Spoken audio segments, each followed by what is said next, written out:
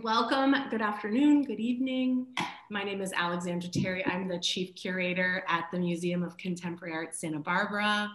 Uh, we are so delighted to have with us today Genevieve Gaignard, Tina Perry Whitney, and Ric Whitney. This is the first edition of our new series that we're calling Collector Series.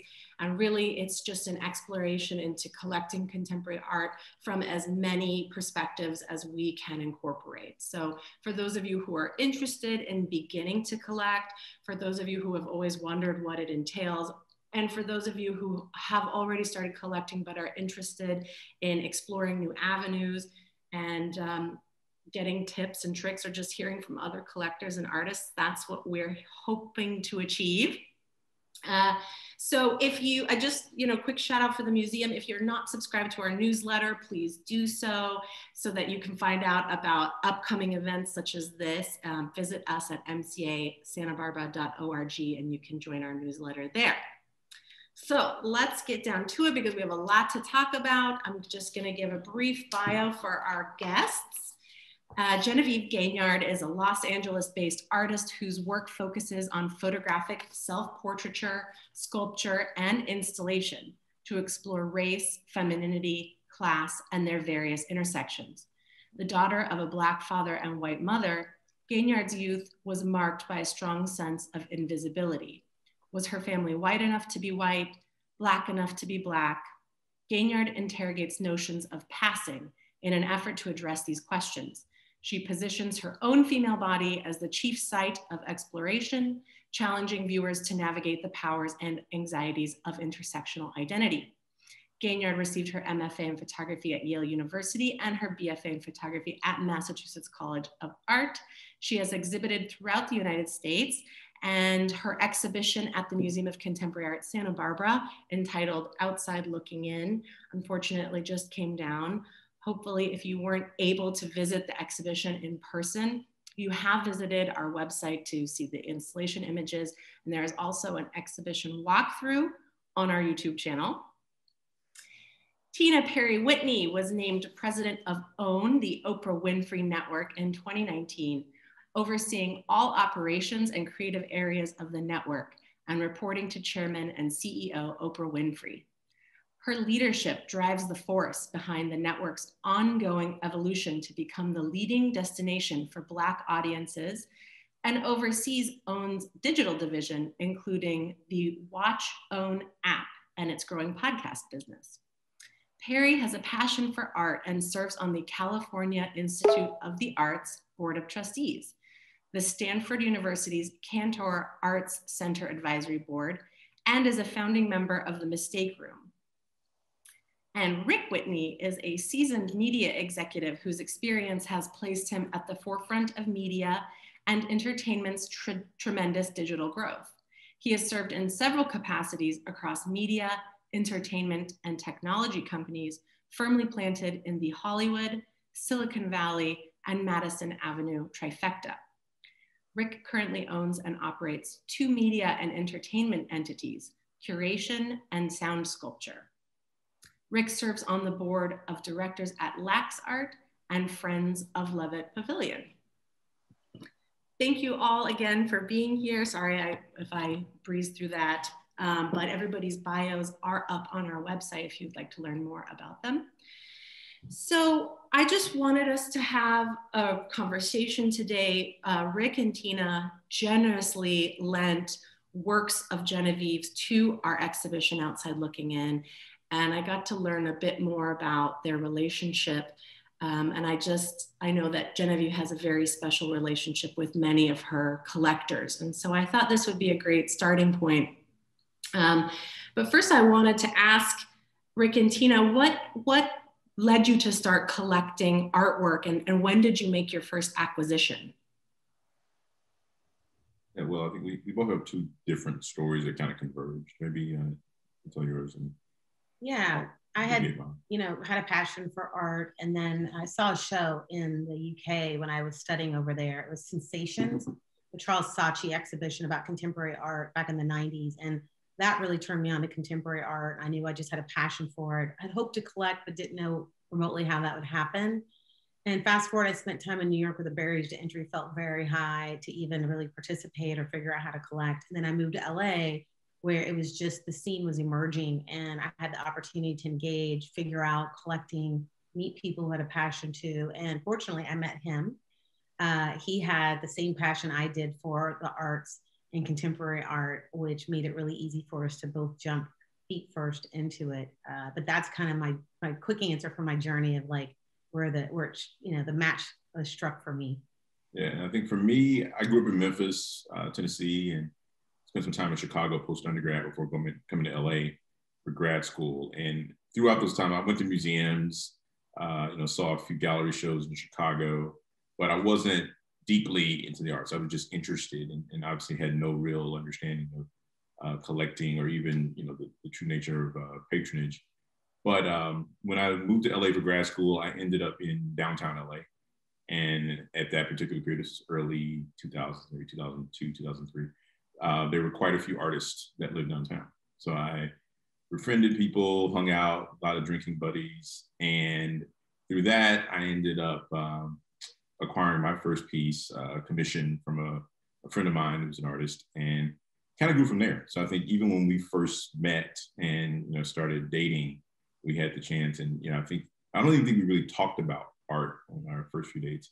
But when she came over my place, she noticed that I had art on the wall, and that became a, from there came a, a, uh, discussion point. I think one of our earlier dates was to uh, certainly an art show. Which one was it? It was uh, um, I mean, I remember Pacific Standard yeah, Time. Pacific Standard Time. Yeah, that was one. I remember yeah. asking if you wanted to go to an art event at someone's house, and I think it was the Brentwood Canyons. Um, you know, a big art collector house, and I had no idea what he was going to say. And we walked in, and uh, he knew a few of the works on the wall. So at that point, I was like, "Whoa, this might be a keeper." That's impre- that's impressive. It doesn't always happen that first of all you can even talk about your passion for collecting art, but to already have such a passion that you kind of brought into your relationship, that's awesome. Um, and Genevieve, I, I kind of wanted to start by asking you how you know what do you remember about the first artworks of yours that you sold? And you know as a as an emerging artist there's often this kind of question about how am i going to start selling work and how do i what channels do i go through? So what do you remember about that? And, how did that experience shape your understanding of what it meant to work with collectors? Yeah. Oddly enough i think um, ric and tina are some of my first collectors. Um, I had my thesis show at uh, Diane Rosenstein, and um, like some of my classmates, like we all kind of just lingered and like thought like okay this is our like sort of connection to the art world let's see if this can turn into anything um and i don't even think i had to show up when they saw the work but there was there were some pieces that Diane had and they they can probably tell their story better of like interacting and like how they stumbled across the piece that they ended up with at first. But um and even the way I found out about it we kind of crossed paths at a different opening at Diane's and they were like very like these two people like very warmly looking at me and I was just like hi I don't know like I hadn't heard about the that they had acquired it yet. So I was all like, oh, cool. Thank you. I, I don't know what's happening. so, you know, just right from the beginning, I felt like, you know, looking at me like I was almost part of the family, you know, in a, in a funny way. And so just that kind of early on, like when you feel like someone gets the work, not just because it's the in thing, but they actually have a connection to the piece is when it feels like the most special. Yeah. It's a great story about the piece. Um, you know, we had been at the gallery and, you know, she had been showing us a lot of different work and she opened up this drawer and wanted to show us this one last piece before we left. And it was Genevieve's piece. And it was this beautiful collage on this kind of matte gold paper. And it's, um, you know, she's in it physically. And um, it's just this beautiful, stunning piece. And we, at that time when we were collecting, we're just figuring out like when you have that feeling, right? When you're like, oh wow, this piece talks to me. Tell me more about the artist. it's not just like a visual a visual reaction but like you are seeing something deeper in the piece and um, we found that it was a very early piece she had made you know right after school or during we weren't exactly sure when but it was very early on in her practice yeah it was one where you know to tina's point we, we saw the work and we're like oh wow of all the things that Diane had shown us that was the one that spoke to us most and to a certain degree it was kind of an afterthought for diane because i don't think she was thinking that we would be interested in that respect, but that was the one that we wanted to acquire. And that was our introduction to, you know, Genevieve as an artist. And I think from there, we had a chance to see more of her photographic work. Um, we're able to acquire some of the individual photos that she that she did early on, and that progressed to uh, some of the, the serial uh, photo works. Um, we have a, a, video work that, that Genevieve also created, and yeah, it's kind of just blossomed from there. I mean, I think you know, she's obviously one of our uh, most favorite artists. Yes. And one, one last thing I'll say is that, you know, some galleries who've represented her have seen the work. Um, they've come over and seen our collection and they've seen it. And it's very interesting their reaction because when they see the work, you know, they know her work and her so intimately well. They see all these elements in this piece that they've never seen before, but still resonates in her practice. So they always like stand over and they're deconstructing it and they're like, wow, she made this a win. And they can see how she still carries on a lot of themes and ideas and notions she was working through with that piece. So that was really gratifying for us, kind of to see that experience. Because for us, it was just the beginning of the journey. But for people that had worked with her, they saw something so much deeper. Yeah. That's what's nice when uh, collectors will collect an artist deep and like kind of keep returning to um, you know, see the evolution of their practice. And then uh, exactly to go into someone's house and see all of those things, but see that they're very connected.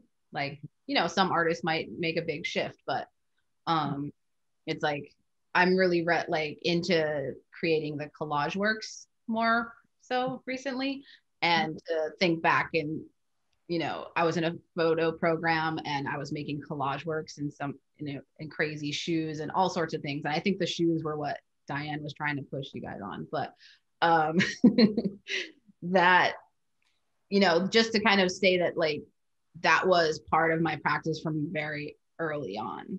And so a lot of folks would be like, oh, so you started doing other things other than photo, but it's it's kind of like, no, I've kind of done it all along. yeah. I, I think you know you mentioned alone. That was one of the things that also drew us into your work, the, your your practice in terms of how you actually execute. And I think once we we had the chance to meet you and talk more about the way you worked, I think for us the the labor part of, of art is also mm-hmm. really intriguing. And you know, I think there's sounds kind of weird, but I think there's a um, there's a way that the work sort of emanates, and you know, people are putting a lot of uh, blood, sweat, and tears and what they create, a lot of time, a lot of energy. And you often don't see that in the final product. But you know, once you get the chance to know the artist and understand what they put behind it, I think there is an element where you start to see, okay, wow, there's it's much deeper than just something you're looking at. Yeah. One last thing I'll just say is we realized really early on with Genevieve, um, as we started to collect deeper and deeper with her, like she puts a lot of like she's a deep thinker right? And she's put a lot of thought behind the work she's making, the why, the intentionality.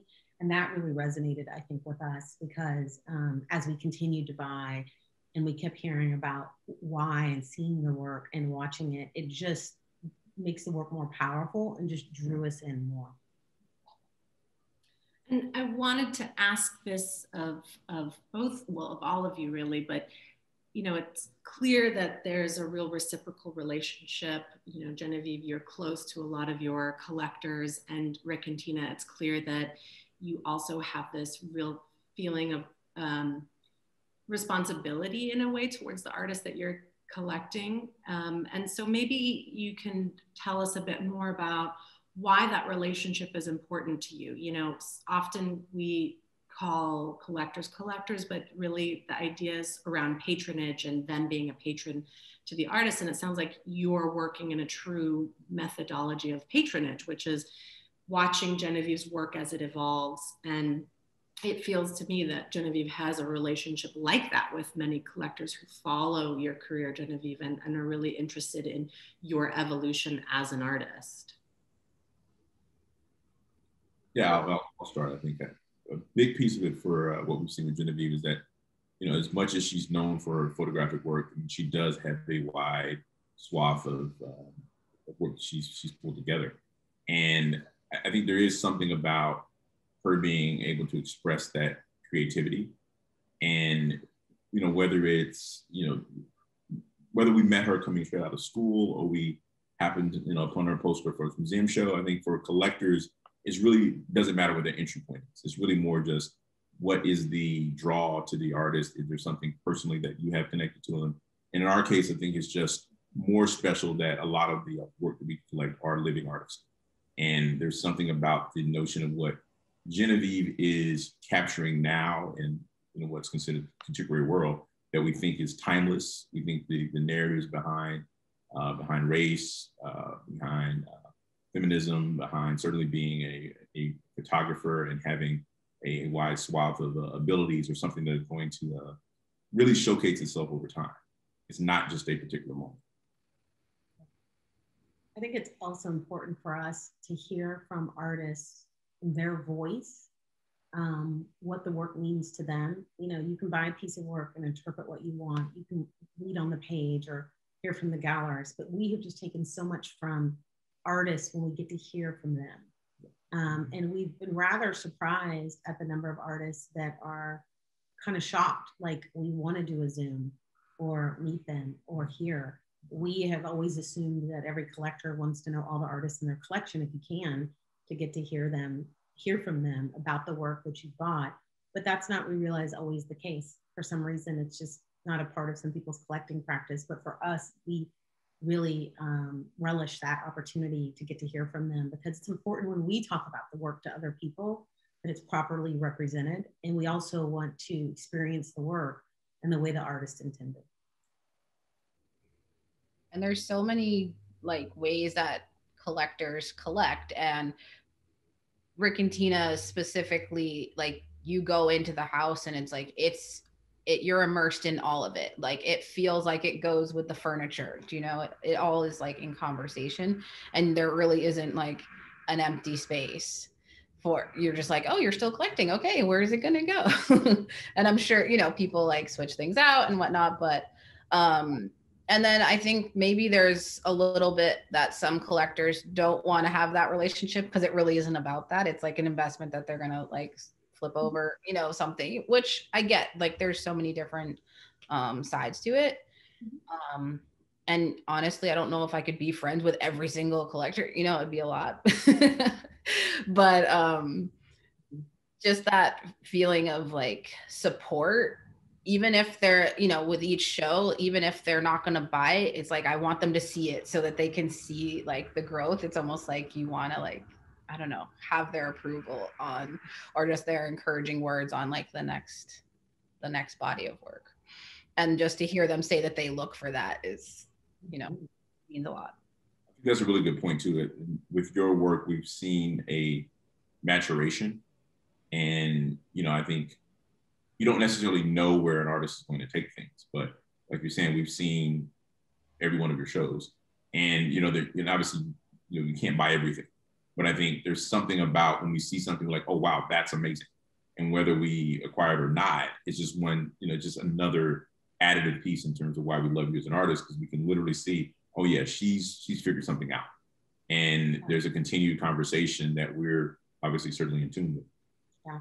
And I think, you know, we talk a lot to other people who want to collect or new collectors about how to do it, how to approach it, you know, fears they may have. And Genevieve's a great artist in our collection that we can talk about our journey with her. And, you know, from the first moment that we just described to you guys to like her last show, what we loved about it, and just, you know, how that really feels to, to be a part of an artist's like, like, you know, path, their whole journey, like watching and staying close, and just there's such a gratification you feel, know, with the work, but also just so happy for the artist, you know, especially if there's someone like Genevieve that's just had a beautiful trajectory, um, but like Ric said, a maturation um, that's just been pretty amazing.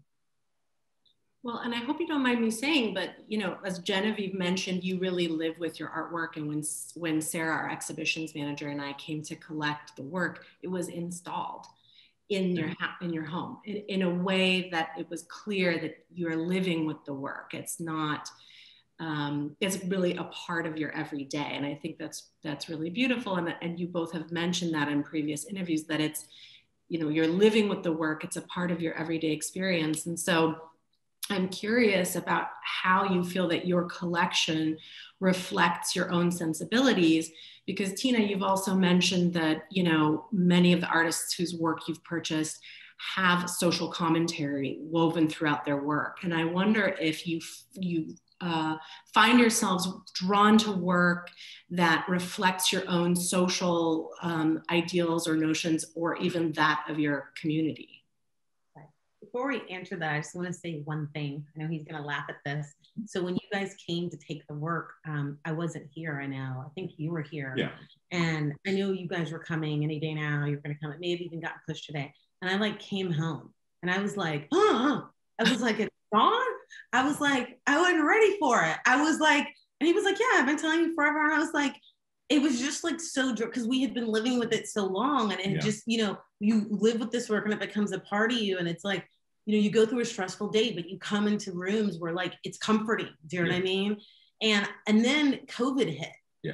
And we didn't have anything in the wall but the what do they call it? The cleats. The cleats. Yeah, the cleats were there for a while. And so during, yeah. I mean, we were so happy it was in the show. Yeah. And it, of course, we would, you know what I mean? It was just such an honor. Yeah. But all through COVID, we're just like, oh my gosh, anything we would do to have this work back on this wall to be able to look at it during COVID because we mm-hmm. just missed it. So I just have to say mm-hmm. that because that was like a funny small little anecdote of like well that's it's so funny because I, I feel like sarah and i were packing the work and sarah's like should we put something else in its place? Because it did it it felt like a hole in the space. It was it was a it was that one of the particular works were in a primary space in our in our home. And yeah and tina's right. I mean it COVID happened shortly thereafter because you know even you know you guys had to postpone the show, but or close the show. That said, we didn't replace it, and you know it, it, took us months until things got a little more safe, where we could even you know have someone come in and help us hang something else. All right, but it's just mm-hmm. funny. Do you want to jump yeah. in on the social commentary question? Uh, yeah, I mean, I think you know for us, we look at contemporary art as a snapshot or a, a lens into a particular moment, and you know, we started collecting about, oh my gosh, maybe seven, eight years ago. So, you know, you're talking, you know, 2012, 2013, however you want to look at it. And there were certain things happening in the world. And I think by nature, by as a byproduct of that, there were artists having a particular conversation. And that particular conversation was very important to us. And, you know, I think if you were to you know, fast forward X amount of years, we think that the work these artists are doing now would be a very good uh, representation of what was happening in this particular moment. And we've been drawn to that work. Um, you know, some of the work is, is, is, more powerful and, you know, maybe a bit more difficult to, to live with in that respect. But again, we think it fits the particular moment. And hopefully over time that also shifts. There may be something five years from now that, you know, that becomes more of a interesting conversation piece. And that's where a lot of the work that we may be acquiring sort of draws from. Right. And I think that's true with respect to kind of social commentary or pro social conversations. But, you know, I think it also are some people that aren't having it. You know, there's some ceramists that we started to collect five years ago, four years or four or five years ago that were working with ceramics in a really unique, different way. And we've gone really deep on them. And, you know, ceramics is now having a renaissance, you know what I mean? But, you know, it was when it started four or five years ago, like it was just beginning where people were starting to think about it differently again, right? And so I think there's something about that. I don't think we're seeking it out, but there is something about in the moment, reflective of the time, you know. Um, but I can't tell you that we are looking for artists that like are making those statements. What we find is like you'll see work. We try to see as much as possible as everyone else shows and Instagram and you name it and you find work that you may read about and then it touches you and then when you talk to the artist you may find there's something else there that you can't even see and so it just kind of started just to attract us like a magnet i think we realized and and that leads me to a question that I wanted to ask Genevieve about, you know, social commentary and and and uh, social justice concerns. And you know, Genevieve, you have been a very outspoken advocate for collectors of color, specifically for Black color collectors. And um, at the Frieze Art Fair in LA, I guess almost this time last year, you wore a dress at the opening and on the back it said sell to black collectors. And you also had a piece at your solo presentation at the Vielmetter Los Angeles booth. And I wonder if you can talk to us more about what spurred you to take that action and what kind of relationships you had been building with your collectors in the time before that that really kind of gave you that platform. Yeah. Um, I think it was just that like over time just like becoming closer um, to my collectors specifically like my collectors of color who have like really taken me under their wing and like all the black collectors are like all like buddies and friends. So like it's kind of like we're all like moving and shifting in the same circle. Um and for those of us that are closer like we share stories like about our experiences with galleries or like vice versa their experiences with galleries. And so um just like kind of hearing those stories and i'm not like the only artist that has kind of addressed this issue. Um but i think i had just gotten to a point in my career and i had that platform to like have a solo booth at Frieze um where it felt like the right time to kind of make this statement. And it honestly started with just the the collage with the statement on it. Um and to be honest i was a little nervous like how people would respond to this um but that's when i think you know like the work is powerful um and i just kind of amped it up a little bit more i was literally painting the dress like the the night before um and I was like, okay, look, we're gonna turn this into a performance piece as well. And yeah, I guess I'm just asking questions with these statements. You know, what is it mean? Does do people even think that this is an issue? And I I did get some, you know, some feedback that people were like, this isn't an issue. And it's like, well, then you're not talking to the right people, you know? So I don't know yeah. I think we just want to jump in and say, you know, we didn't know Genevieve was going to do that performance and but we saw it and when it was written about and as black collectors um, i can't tell you how glad we were to see the conversation we were people were having about it because some people think it's not an issue but if you're not a black collector you may not know it um, and it's you know you have to experience it where you know um, some people use different or tactical and may make it a little more difficult than you can imagine sometimes to collect pieces um, if you're a black collector. We've experienced that for sure, coast to coast um, with different places, not every gallery at all. Um, but you compare stories and you can hear or you talk to non-black collectors going after the same work at the same gallery at the same time because collectors don't know who your friends are and you just he- hear how tr- differently you're being treated or you may even know the artist and the gallerist doesn't know you actually already have the artist's work or you know the artist and you can tell they're not maybe being above board or honest with you about things. And those experiences have been difficult for us. Um, but Genevieve, you know, we've never even told you this. Like when you did that performance piece, it meant a lot to us as Black collectors, knowing the challenges we faced at times. And I would add to that, you know, patronage comes in many forms. And I think the art collecting aspect of it is just one sliver, but it's a, to a certain degree, it's a very privileged sliver. And I think with that privilege comes a lot of responsibility. But at the same time, I think some of that may not necessarily open itself up to a lot of the, the discussion points about who has access. And, you know, it, it is a situation where it's not always about financial means. It's about uh, who someone chooses to, to have access.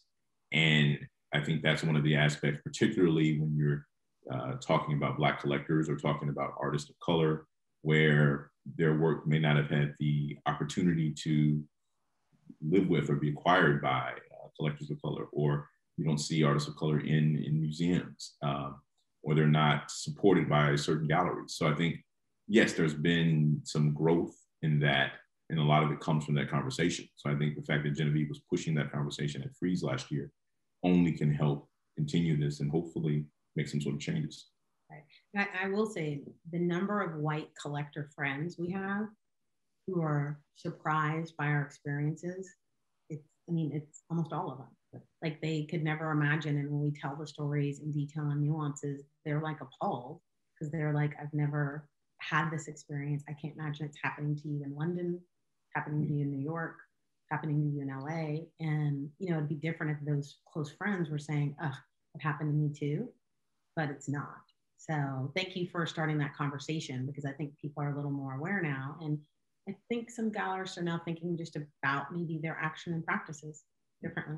And I'll quickly add too, I think one of the, the pluses of having a partner who uh, is supportive in, in the art in, in the same in same vein is that you have another sounding board. Because mm-hmm. there's certainly been situations where things have happened and I had a POV that may be a little bit different than her POV, mm-hmm. or we had a chance to discuss it, and that gave us okay, wait a minute, we are on the same page here. Mm-hmm. And you know, even situations where I may have been a little bit more taken aback, or she been, or she may have been more taken aback. So I think that balance also, you know, breeds really well as it relates to sort of dealing with some of the issues and really trying to navigate a space that's often quite foreign for people, particularly when they weren't, you know, kind of born into it or had a lot of experience prior to it. Yeah, and I will say that for a few gallerists that um, that type of experience happened for us, there have been a few where it turned into a learning experience for them. And we not only collected work at that moment, we continue to support them as gallerists and buy from them deeply and become really good friends. So I definitely want to stress that too, that is not turned into every single time we're like, we're just not buying from you and walking away, right? It has been an experience where some of them maybe just didn't realize or understand. And, you know, it's been a really beautiful relationship with them as as as gallerists and collectors. I also wanted to add that, you know, for my short period of time being here, like six years here in LA, um, and just the continued growth in the relationships with my collectors and them advocating for me and like showing up for me that like by the time Frieze came around, it felt like, you know, this is my time to kind of, you know, advocate on their behalf. And again, like they didn't ask me to do that, but um, it just felt like a, a pressing issue to address. As you said, Genevieve, you know, you're not. There are other artists who are being quite vocal about about these concerns, and you know, a lot of artists are very um, active with their gallerists and whoever their dealers are with regard who they with who they want to sell work to. So some artists are pretty insistent that they want their work to go to institutions so that it can be continued to be seen by the public. And I think Deborah Roberts is, is one of those artists. And I know Ric and Tina, you have work by Deborah. And, um, you know, it's really important to her that her work is in public institutions so that people that she feels she's representing through her work can benefit from being in relationship to it rather than it specifically going to someone's home and, and, and not being on view publicly. And Genevieve, I mean, that was just one of the most public platforms that you could choose to do that. And, you know, there's so much critique and, and questioning around Frieze and who is Frieze for and what has it become. And, it was so beautiful because you had this amazing solo presentation, which just received an, a, a, wonderful amount of attention, rightly so, for really bold and beautiful work. And then for you to take that extra step. And I just love some of the you know documentation of your performance, specifically you moving throughout the fair and being photographed in other gallery booths, really to drive the, the point home. And I wonder, Genevieve, do you feel, other than receiving feedback from your collectors and people that you're in community with, do you feel that you received feedback or read press that you felt like maybe there this action will kind of lead to more awareness around this? I mean, definitely. It's just, it's just that like the pandemic kind of shut things down in a in a certain way, and so you know people hopefully like held on to that message, but at the same time, you know the world was kind of crumbling in other ways So um, I recently got asked, you know, what what's something I hope changes in the next year in the art world, and I was just kind of flat out said, I don't think that selling to black collectors that it got addressed, you know, during the year of, you know, COVID. So um, I'm still I'm still championing that message. Um, so that's kind of where I'm. You know, I think there's so much to unpack there, and you know, time for folks to reflect and you know, kind of like you know, Tina said, it's not gonna like happen overnight, and um, you know, folks need to like have that moment of like catching themselves in that or being called out on something specific to really um, have that change start to happen but and genevieve you're also you know you really also advocate for other artists of color and you had this amazing residency at the massachusetts college of liberal arts over the summer and during the pandemic which was able to shift in ways that i think was really impactful and you curated an exhibition entitled We Are More Than a Moment. And We Are More Than a Moment was also one of the works that you exhibited at the Vielmetter Los Angeles um, uh, booth. And I wonder if you can talk about your experience curating the exhibition and, and what the impetus for the exhibition was. Yeah, I think the message of We Are More Than a Moment kind of tied in with the resurgence of Black Lives Matter and just kind of I think it's all, you know, when these things die down, like people think like, oh, it's not happening anymore. And it's like, no, these stories are still happening. And we're not just these particular moments, we're like so much more. And so um, through the residency that, you know, it was kind of required that I would already like curate something, hoping that I would be able to figure that out. Um, but yeah, so it was kind of op- open to interpretation I didn't want to like exclude folks, but I wanted to kind of express that I wanted a lot of um, artists of color to feel open to applying to that. And it was really hard to cut folks out because there was a lot of great work. So it was a big show of 40 artists. And um, yeah, it was pretty powerful. And even like during that that time, it was like people weren't really sure how to do online openings and things like that. And like these artists showed up and they were so excited. We had a DJ and like we didn't really know what to expect, but it just like the energy was so lovely and it just kind of felt like okay we can still do this even if it doesn't feel like it used to i was so um, first of all grateful to be a part of the many conversations that you had throughout your residency but really I was in awe of the ability that you had to create the sense of community digitally. And there were these weekly conversations with you and Erica Wall, who's the director of the program and the curator of the of Gallery 51. And um, I mean, I just felt like I looked forward to those conversations so much because the sense of community was so strong and there was so much grieving going on because of all of the global events that we were facing at the time. And it was just so beautiful that your ability to curate that community came through so strongly online and, and through the screen. And I just think that it was so impactful.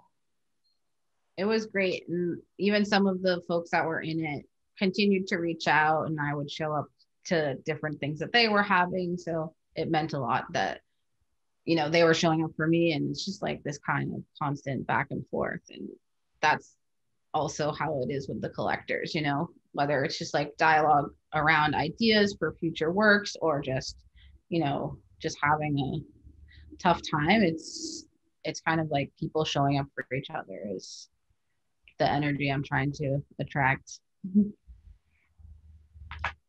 Well um, i wanted to ask ric and tina about the boards that you sit on because you're both in addition to being collectors you're both very active on boards of arts institutions, which is again another form of patronage. And I'd, I'd love to hear from you and how that kind of came about, how you started getting engaged and, and, and joining these posts, and how you feel that um, these roles on boards also impacts your relationship to artists.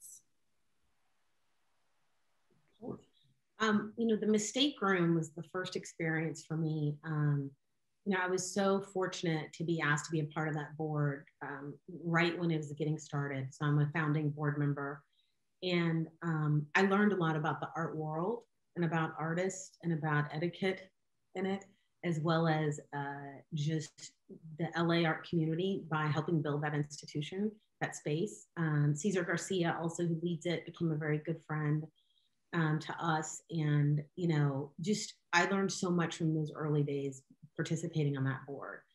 Um, CalArts came along for me a little later, and that was just such a privilege also to be able to be on a art school board. You know, um, for us, people who are creative are just so important to our culture and society.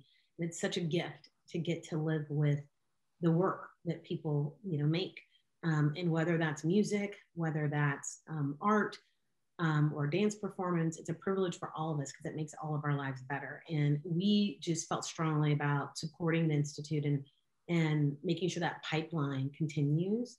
Um, you know, creativity and imagination is such an important part of the work we do, working in entertainment and media. And it's, it's, you know, one of the most important traits you need to make it in the industry. And so it's just such a natural extension for us to like support spaces and institutes and places like that, that, that value it also. Um, and then the Cantor Museum, you know, I'm a graduate of Stanford and I was just honored, you know, they're going through some transition and um, kind of growing that board and, and the museum itself. So I was fortunate to get to grow that. I mean, be a part of that. Um, it's a newer experience for me, but it's really been um, a great experience. So for us, it's at least for me, and I think both of us, it's, you know, collecting is one way to be a patron and support the arts, but you also support it when you go to museums. You support it when you go to a show.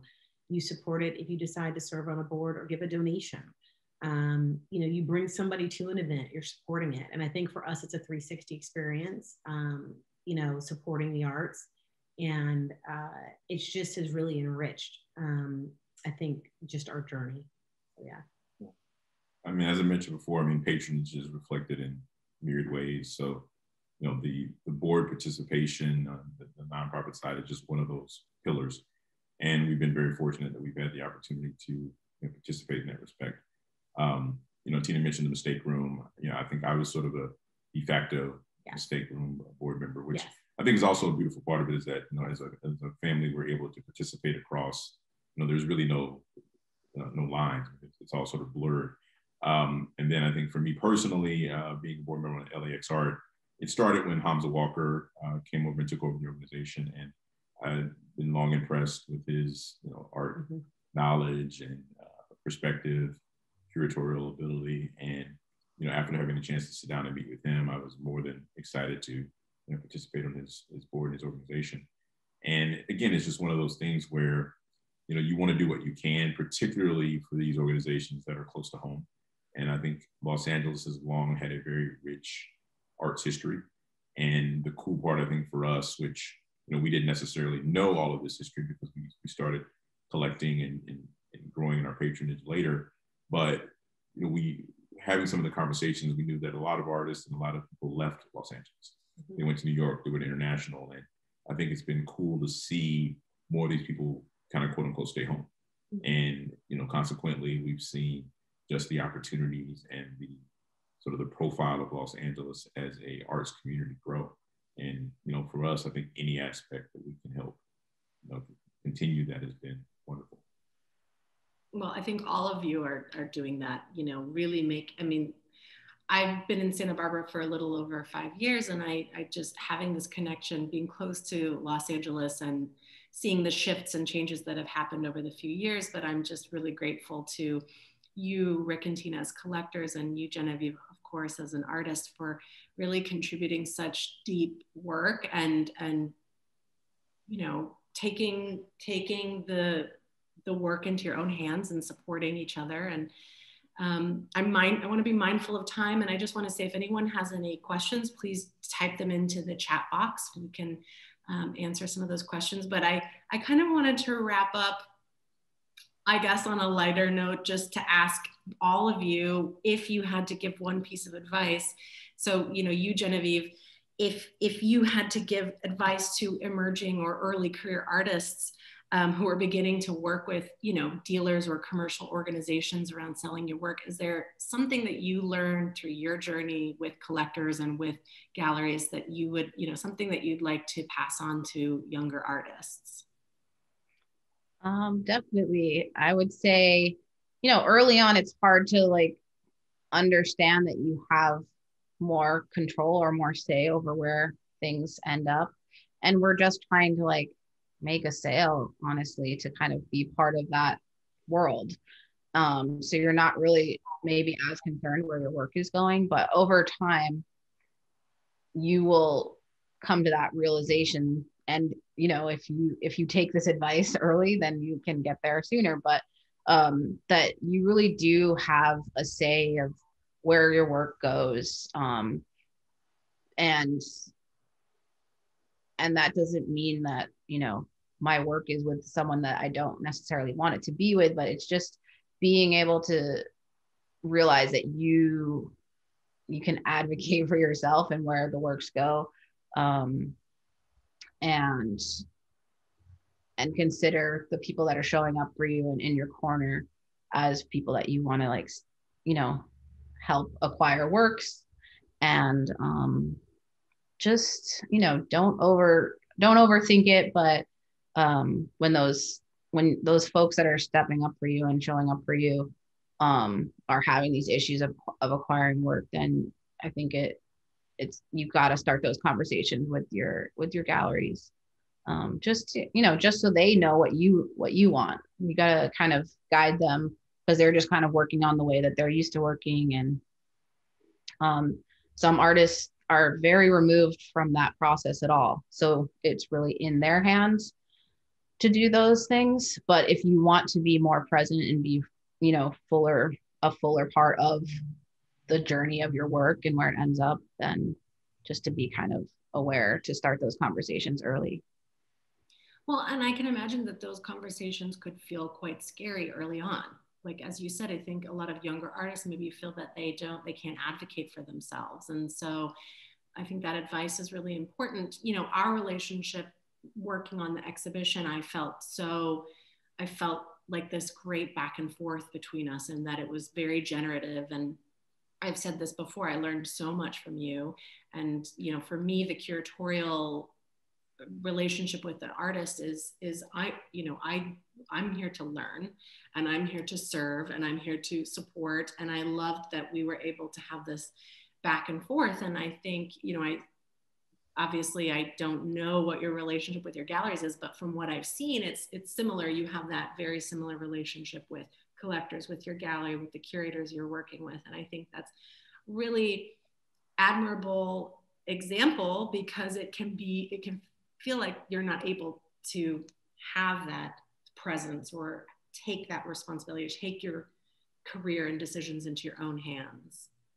Yeah, and I think it's you know it's a lot to do with like personality too, because it's like some some people just want to like I just make the work and just you guys get it to where it needs to go, and they're just they're better they feel better just working in that way, but I started to just feel like this is like a full like a bigger picture me having like a voice and having kind of my own kind of business or whatever you know like it's my own this is how i make my money this is how i put food on my plate you know? So those things felt like they like i needed to be at least involved in a conversation around them i don't have to make every single decision but like just being informed is is kind of huge for me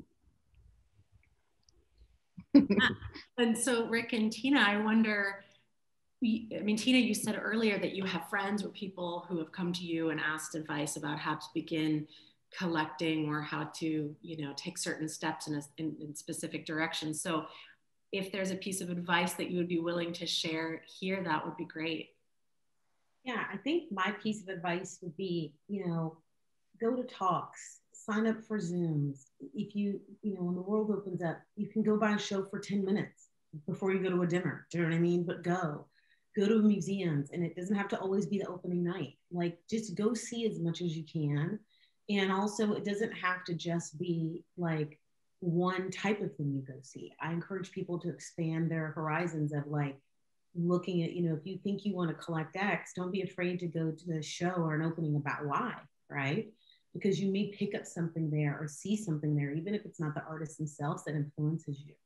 I might also say along those lines, you know, um, the art world is really friendly, at least the LA art world. I mean, I think the art world overall really is. When you're at events, people are pretty friendly. And we have found that at events, we've met some collectors who random conversation started and we got along great. And then next thing you know, we're going to an event they're holding. And I want to stress the notion about going to events at different different types of events, even if it's not the exact type of art you love um, we had the privilege of uh, meeting Bob Rennie, um, who's a collector out of Vancouver at a museum event in LA, and became friendly with him and ended up going to an event in Vancouver he held.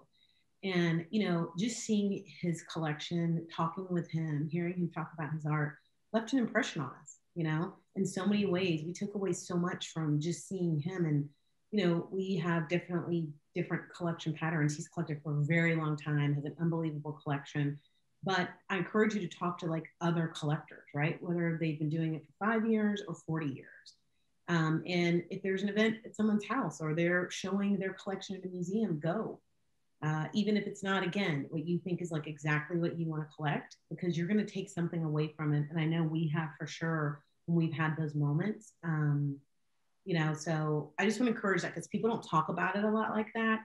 Art collecting can feel very like a one dimensional me, me, me, I have to like figure it out, but it's so communal. And um, we've been influenced a lot by people in that community. That's my my two cents. What was you what was yours? Yeah, I would uh it dovetails with what you're saying. I think practice patience. And it's really something where the the longer you collect, the longer you are a patron, you start to kind of develop your own eye, your own understanding of the, the space, the artist, the works you like, the things you're drawn to, the conversations that are most interesting. And ultimately, I think the only way you're going to get there is to have patience not only in being able to explore, like Tina's mentioning, but also in terms of you know making some prudent decisions in terms of the art that you actually acquire. Again, I mean it's it is a financial commitment in that respect. So you do want to make sure that you're, supporting artists and and buying artwork that you feel comfortable with, whether you're you're talking your, your own price range or your own sensibility. But I think the only way that you can truly get there is to have some level of patience in terms of how you approach it. And you know, I think for us, that was one of the the, the better parts that we've learned over time. Mm-hmm. Um, you know, not to say that we've been extraordinarily impatient, but I think we do have a couple of very you know interesting stories very early on where we were probably trying to figure out what still trying to figure out where we sort of sat and what we wanted to do. But with time, we were able to kind of get past that. And I think we've gotten to a place now where we feel very comfortable, you know, as art patrons, and at the same time, we feel very comfortable in the, the types of works and types of artists that we uh, like to support. I think, you know, both of the what, what, what both of you said is so important across all levels of the art world you know first of all i think the art world is friendly and communal and showing up and showing your face and getting to know people and reaching out to people is so important. And I think often we feel that there are barriers. I'm not allowed to talk to this person. I'm not allowed to ask this question. I'm not allowed to advocate for myself.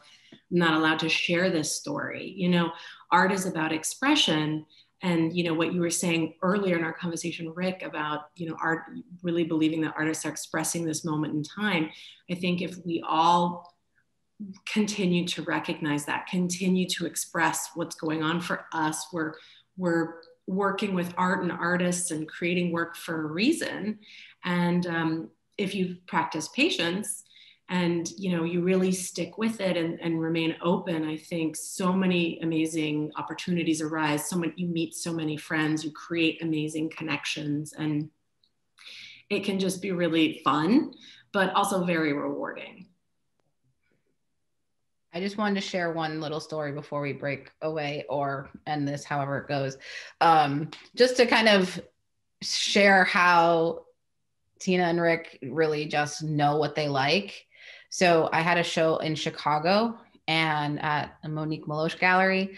Um, they were both traveling and they both were stopping there at certain points. And, you know, it was like, maybe we'll see you. We really want to see the show.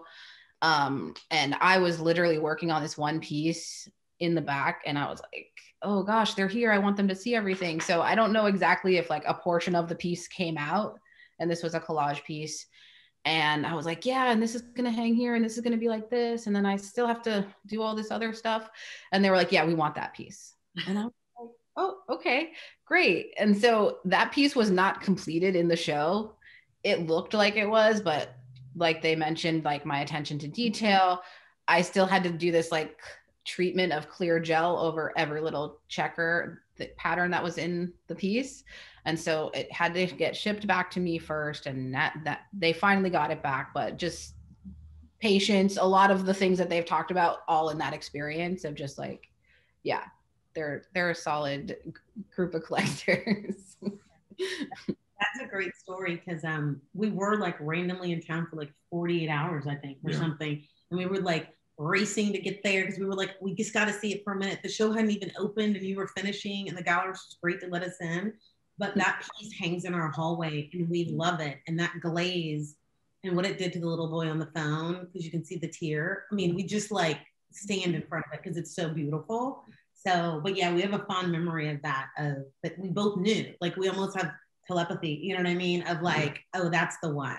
Like we didn't have, we don't have to debate a lot. We're like, that's it. And that was one of those moments. Even yeah. when not finished. Thank you guys thank you so much. I just want to thank you all for, for sharing these stories and sharing your advice and being incredibly generous with your time. And Tina and Ric, we're so grateful to you for lending the beautiful works of Genevieve's that you have to our exhibition and for continuing to let us extend the show time after time, hoping that the community could could witness uh, Genevieve's amazing show. And Genevieve, thank you for everything that you've done for the museum and also the Santa Barbara community. We're so grateful for your generosity as well. And um, we hope that we'll all be able to be physically in community together again soon. So thank you so much. Oh, no, definitely. Thank you. Thank you. Yeah, good to see you guys. Take care, everybody. Thank you for joining us. All right. Thanks. Bye now. Bye.